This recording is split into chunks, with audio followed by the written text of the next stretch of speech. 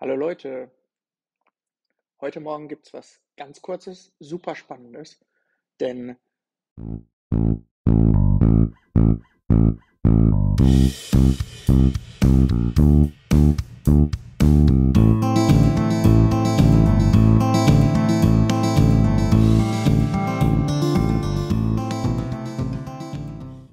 ich habe gerade meine Subscriptions, meine Abos aufgerufen und beim Electric Viking gab es dieses Video hier. Guckt euch das mal an.